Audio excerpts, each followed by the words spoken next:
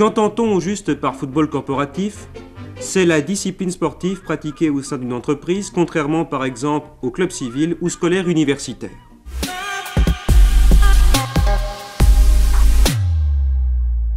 L'histoire du foot en entreprise, elle est assez difficile à dater en fait, de manière précise en tout cas. Ce qu'on sait, c'est qu'aux alentours de la fin du 19e siècle, en Angleterre, il y a des clubs qui naissent euh, d'initiatives d'ouvriers notamment des cheminots à Manchester, 1885. Ça, c'est en Angleterre. Et puis en France, on a aussi euh, des initiatives assez intéressantes du côté des employés, cette fois, euh, dans des grands magasins parisiens. Il y a l'Union de la Belle Jardinière, euh, vous avez Le Bon Marché, qui crée une association de football, entreprise du coup, dès la fin du 19e. Et il y a même des tournois intermagasins qui sont organisés à partir de 1899, dans lesquels on joue au foot entre employés. Devant chaque gare, les joueurs se donnent rendez-vous. Ils vont disputer en banlieue le match dont à l'atelier, au bureau, ils parlent depuis le début de la semaine. Ils discutent de la place à occuper sur le terrain. Seront-ils 11, ainsi que l'exige le jeu? Le gardien de but est malade, qui le remplacera Ils joueront sur un terrain désertique, mais avec autant de cœur, si ce n'est plus, que si 50 000 spectateurs les encourageaient. Pour le football, il y a un lien qui va être assez vite euh, établi avec l'industrie. Pendant la Première Guerre mondiale, l'Organisation scientifique du travail est euh, intégrée dans les méthodes de fabrication de l'industrie de guerre. Et l'Organisation scientifique du travail, c'est le taylorisme. Donc on est sur une chaîne de montage, chacun a sa tâche, comme dans une équipe de football, le gardien a la sienne et l'avant-centre euh, la sienne euh, également. Alors en 1922, eh bien, euh, la fédération décide de séparer le bon grain de l'ivraie, c'est-à-dire les clubs véritablement sportifs des clubs professionnels.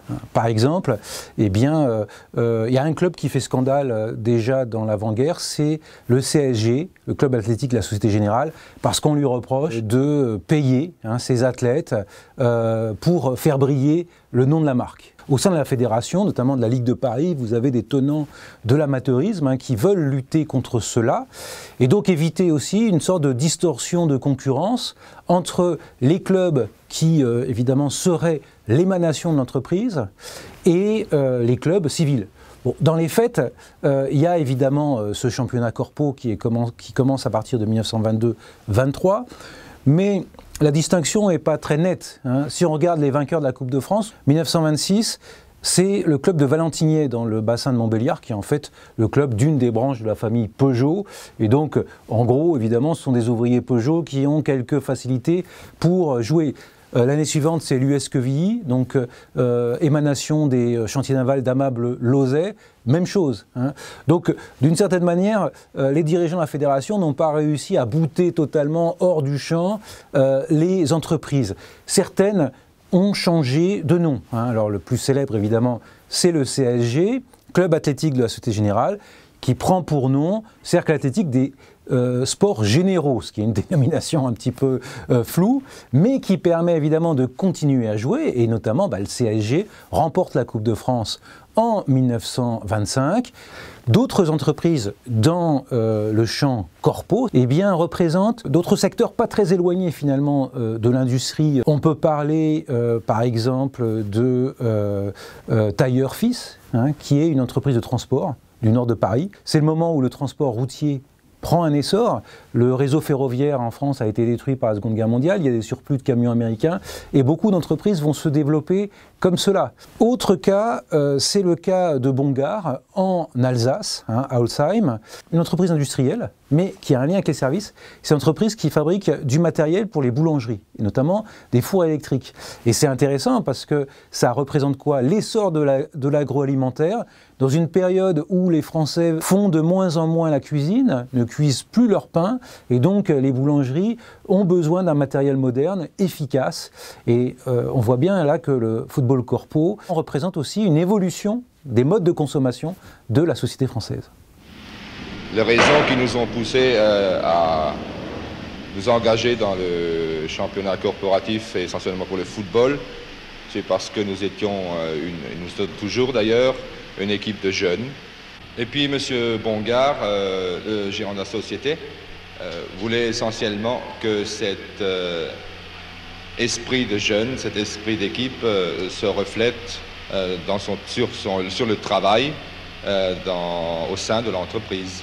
Les clubs sportifs dans les entreprises peuvent être créés soit à l'initiative tout simplement des employés, soit à l'initiative des patrons. Dans ce dernier cas, évidemment, ça entre dans le paternalisme qui sert de modèle de gestion à ce moment-là, c'est-à-dire le patron qui doit veiller sur ses employés, sur ses ouvriers, comme un bon père de famille, et veiller évidemment à ce que hors du temps de travail, eh bien, ils occupent euh, leur temps sainement. Actuellement, vous vous sentez davantage comptable ou footballeur? Bah, Écoutez, euh, les deux. Euh, comptable au travail et footballeur pendant euh, les matchs. L'un ne nie nullement l'autre.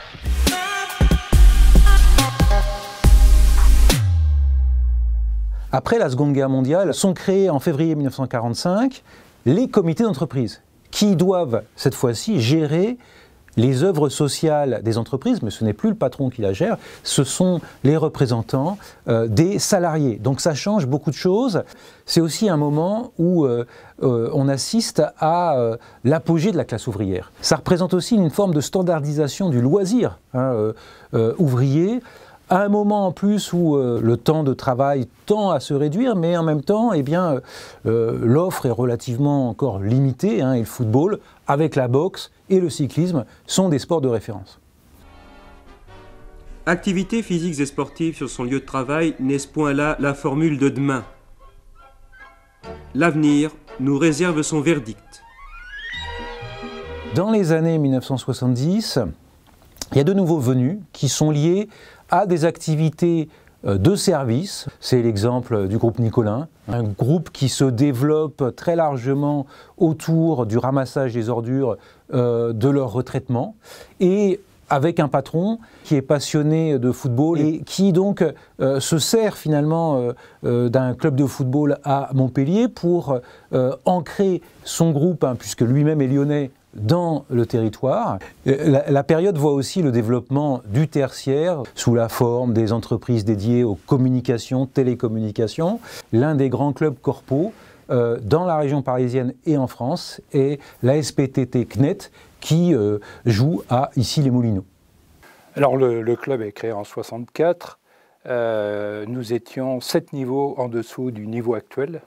Donc il a fallu cravacher pour monter les étages et donc, euh, c'est en 1980 que le club a pu atteindre euh, la division d'honneur et commencer à regarder de très près ce que faisaient les grands clubs dont on parlera sans doute après.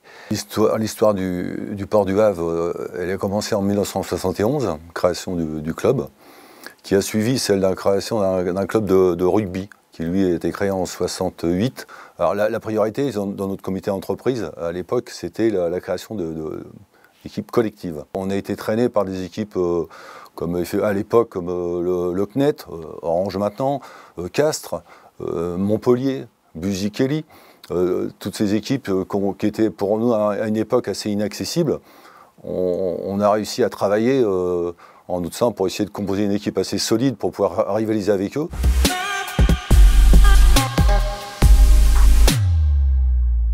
Dans les années 80, je me rappelle, c'était pratiquement 1350 équipes d'engagés en Coupe nationale corporative. C'est une période où le football euh, corporatif a pris toute sa dimension au niveau du monde de l'entreprise.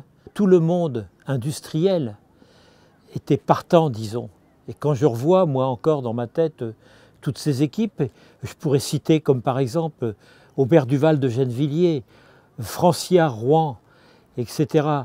Les laboratoires Pierre Fabre-Castres, on peut parler de Busikeli naturellement. Monsieur Liam Busikeli euh, était un passionné de football. Euh, il a, il a souhaité euh, petit à petit créer une, équipe de football. Il a permis donc ben, à beaucoup de collaborateurs de, de passer d'un monde professionnel à un monde d'entreprise pour la reconversion parce que à l'époque, le football n'avait pas les mêmes moyens qu'aujourd'hui. C'était un passionné de football, c'était lui notre premier supporter. Il considérait son équipe comme le meilleur outil social pour acheter la, entre guillemets, acheter la paix sociale au sein de, son entreprise. Il y avait un projet humain et euh, on sentait euh, les valeurs de, partage qui étaient complètement euh, euh, là et qui, qui faisaient que les joueurs qui travaillaient dans l'entreprise, mais tout comme les joueurs qui étaient extérieurs comme moi, ont, formé un, seul groupe. très beau centre et but. Deux centres et but. Cela devait arriver. Il y avait un retentissement régional mais national sur cette équipe qui à l'époque a, ben, remporté de nombreux succès, hein, cinq titres de champion de France et quatre coupes nationales. Et voilà, c'est la fin du temps réglementaire. Buzikelli l'emporte. On s'y attendait un petit peu, c'était euh, logique. Il y a un basculement finalement dans les années 80. Ce football corporatif, il a toujours la même fonction d'une certaine manière, hein, créer du lien social, mais il n'y a plus ce modèle forcément de la grande famille. Hein, sur laquelle trône le patron. C'est plus euh, finalement la sociabilité des collaborateurs et collaboratrices. Euh, donc il s'agit de finalement créer un esprit d'entreprise. Je crois que c'est vrai dans toutes les entreprises. Représenter son entreprise au travers du sport, euh, au travers aussi de l'envie, de l'envie certes de gagner, mais aussi de, bien se comporter. On cultive les valeurs et des valeurs qu'on doit retrouver aussi dans, le travail, dans, nos métiers. J'ai eu l'opportunité de rentrer chez, Pierre Fabre euh, grâce au foot, il faut, le, dire. Là, j'étais salarié, un poste euh, assez important chez, Pierre Fabre. Euh, et puis on se retrouvait avec des collaborateurs qui étaient à l'usine, des collaborateurs qui étaient... Donc c'était un, mélange euh, de, collaborateurs. Sur le terrain, on est tous avec le même, la même tenue, hein. on, se bat tous pour le même objectif. C'était très intéressant, très instructif. Et, comme chez M. Buzikelli, pour M. Fabre, d'avoir des collaborateurs qui participent aussi bien sur un plan travail que sur un plan sportif au développement, à la notoriété de l'entreprise, c'était un, plus important. Dans les années 80, avec euh, le virage néolibéral que connaît tout l'Occident et dans une moindre mesure peut-être la France, le club de football eh bien, peut illustrer aussi à la fois l'élément de sociabilité, mais aussi l'élément de performance. Sa troisième saison dans le championnat de France, le groupe sportif Marcel Nicolin, fort de 18 joueurs, dont la moyenne d'âge est de 26 ans, a faim de victoires et de trophées. Pour y parvenir, les Héroltais n'ont pas lésiné sur les moyens, trois entraînements par semaine au lieu de deux, et la venue de plusieurs anciens joueurs professionnels. Puisque je, finis, je venais de finir ma, carrière pro, j'étais franchement en attente encore d'un club, c'était en 98. Donc j'avais fini la saison avec Saint-Etienne et je me suis retrouvé au chômage. Et au mois de novembre, euh, j'ai reçu un coup de téléphone de M. Nicolas qui euh, voulait euh, renforcer son équipe foot entreprise et qui a pensé à moi parce qu'il m'a dit qu'il cherchait un buteur. Je crois que c'est le gros avantage du, corporatif, c'est que ça permet, par les temps qui courent, de, pouvoir d'une part avoir un travail, ce qui est très important maintenant, et puis de pouvoir continuer à jouer au ballon à un très bon niveau. Et j'ai trouvé que la proposition était très correcte. Et puis bah, je ne vous cache pas que le personnage y a fait beaucoup pour que, pour que je dise oui. Ah bah moi je l'appelais pas Monsieur Nicolas, je l'appelais Loulou. Loulou. Et c'est vrai que quel plaisir de voir un chef d'entreprise, disons, accompagner son équipe. Un grand, un grand homme du football, naturellement, avec son club, hein, Montpellier, mais un grand porteur, disons, pour ce football euh, d'entreprise. Et c'était un homme qui avait de la niaque. Et quand il vous parlait, après vous disiez, mais oh, je vais être obligé de lui dire oui, je ne peux pas lui dire non. C'était comme ça avec Loulou. Et donc le soir, je l'ai rappelé, je lui ai dit, euh, dit ok, je viens, banco. On partait au vert, on préparait les matchs comme si euh, j'avais l'impression d'être dans, le milieu pro encore. Quand il venait au match, bah, voilà, on donnait tout sur le terrain pour Même si on avait un certain âge, on donnait tout sur le terrain pour lui. Et il voulait toujours tout gagner pour ça qu'il nous avait recrutés. Après, il y avait une équipe qui était en place avec des joueurs du cru. Mais, et chaque année, moi j'ai passé quand même, euh, j'ai joué 8 ans je crois. chaque année, il rapportait un, joueur de plus pour, euh, pour encore gagner, parce que jamais il était satisfait. Pourtant on gagnait, hein. on gagnait les championnats, la coupe, mais il en voulait toujours plus. On a envie de faire mieux cette année. On a essayé de, recruter en fonction pour avoir une équipe plus compétitive essayer d'aller le plus loin. c'est sûr qu'on aimerait au moins, vu ce, qu'on a, vu ce à quoi on a goûté l'année dernière, au moins faire euh, une finale ou du championnat ou de la coupe. D'afficher son nom en finale d'une coupe nationale corporative, c'était quelque chose de très important pour les directeurs aussi des entreprises. Et puis naturellement pour tous ces joueurs qui en plus il y avait une chose qui était très importante.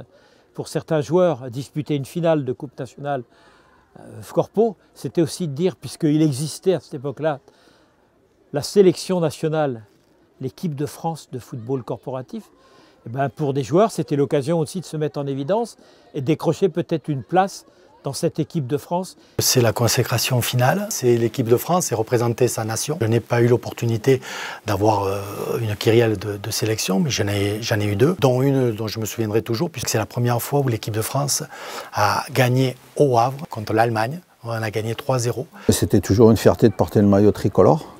Même si c'était du foot entreprise, j'ai toujours pris ça à cœur. J'y suis toujours allé avec, euh, avec bonheur.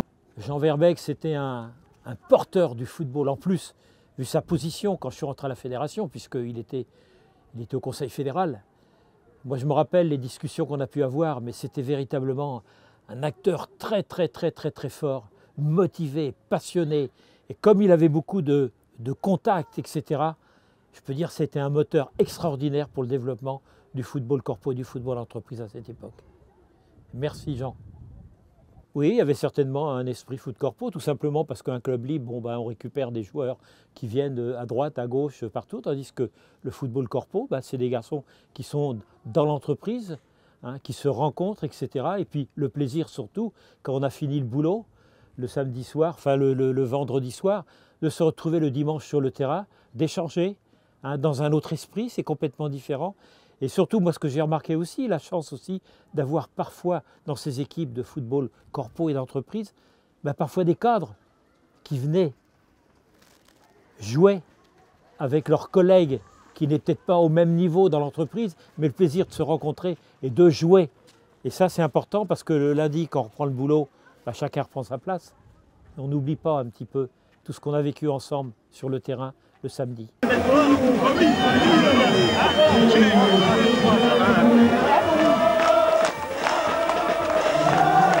Je te l'avais dit, on l'aime. On l'aime, on va la garder celle-là. Bon, ça s'est joué à peu de choses.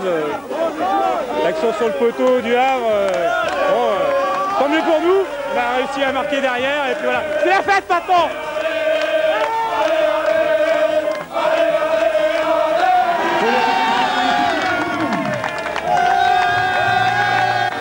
l'une des valeurs du foot d'entreprise, justement, c'est cette euh, ambiance générale qui, euh, qui, existe et le respect que nous avons les uns les autres et l'amitié qu'on a pu euh, tisser au fil des années. Et ça, c'est vraiment, vraiment très important et c'est reconnu, je pense, par l'ensemble des, des, clubs qui, qui jouent dans le, dans le cadre du football entreprise. Je voudrais féliciter le CNET pour cette victoire.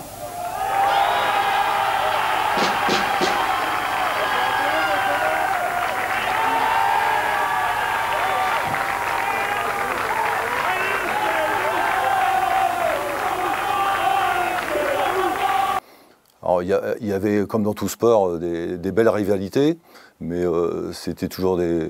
Enfin, pour nous, c'est toujours des rivalités positives. On a, on a, fait des rencontres, on a, on a, lié des, liens d'amitié avec tous, ces gens.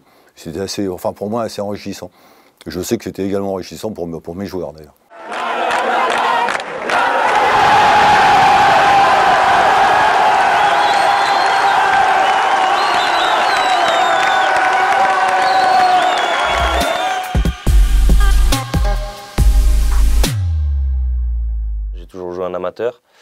Donc euh, pour moi, me retrouver euh, en football entreprise, déjà, je ne m'attendais pas à vivre ces choses-là. Je, découvrais l'année dernière le football entreprise. Donc l'APSAP Émile c'est donc euh, le club de l'hôpital Émile Roux à Limay-Brévannes. Et donc c'est un club qui a 60 ans, enfin 61 cette année. Et l'année dernière, donc on a fini vainqueur de la, de la Coupe nationale pour les 60 ans du club.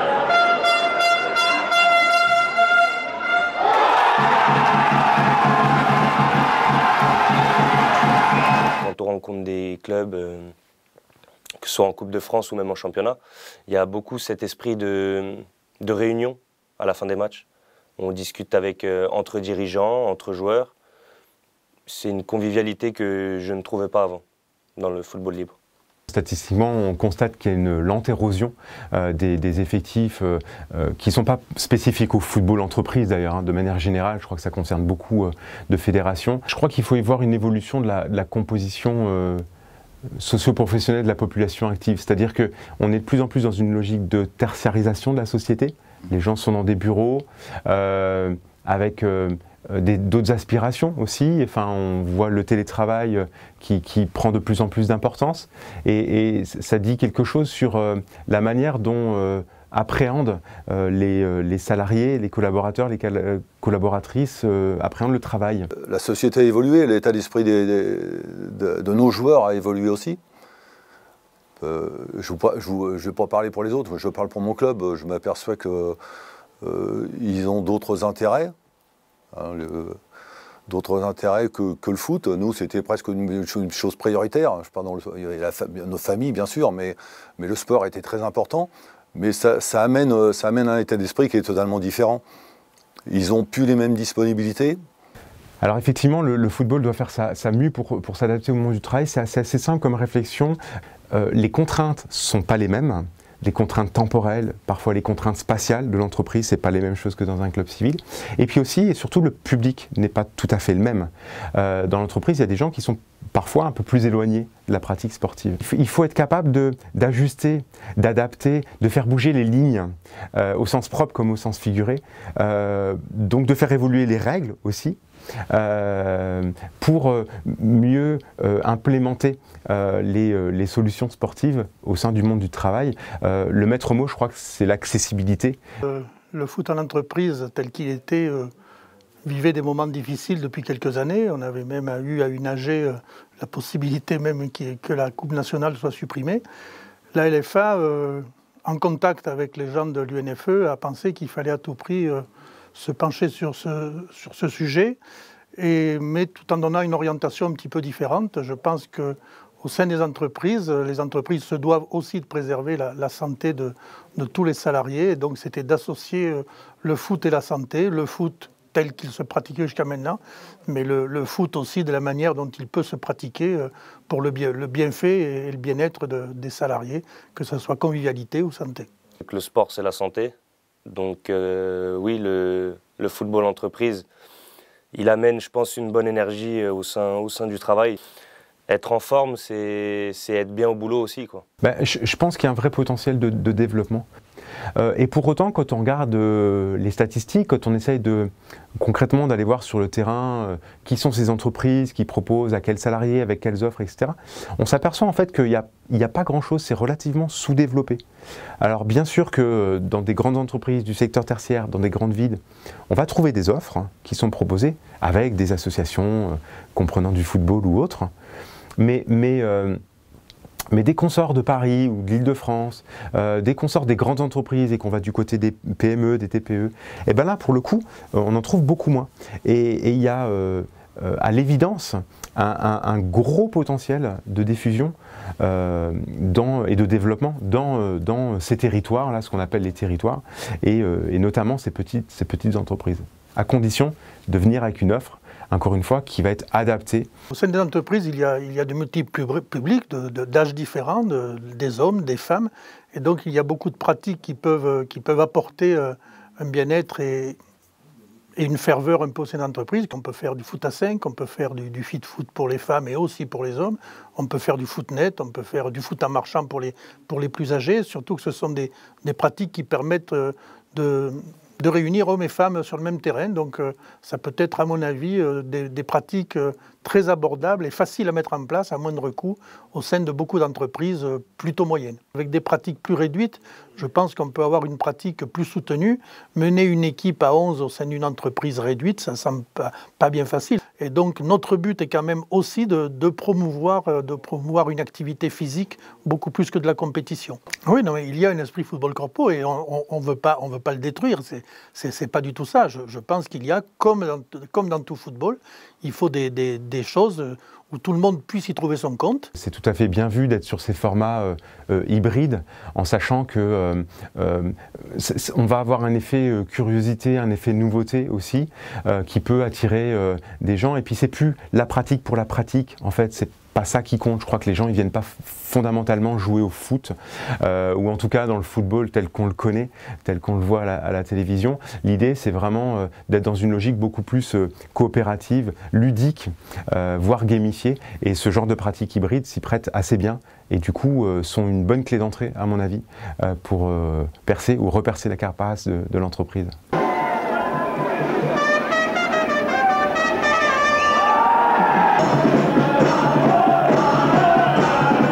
Toute une symbolique. Le gagner la première fois, c'était formidable.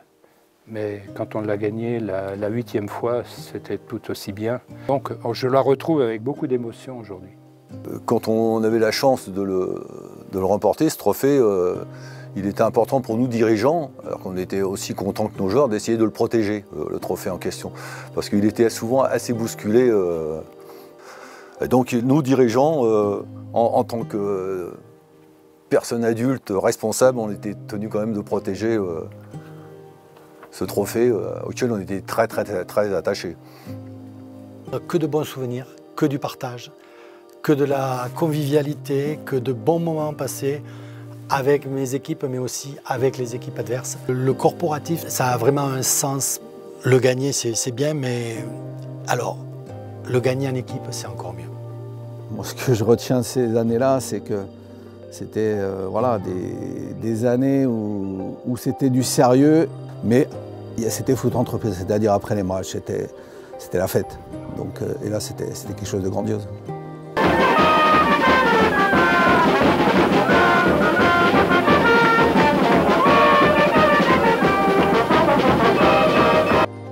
Bah, c'est surtout le plaisir de se rencontrer en dehors du boulot, le plaisir d'échanger, et puis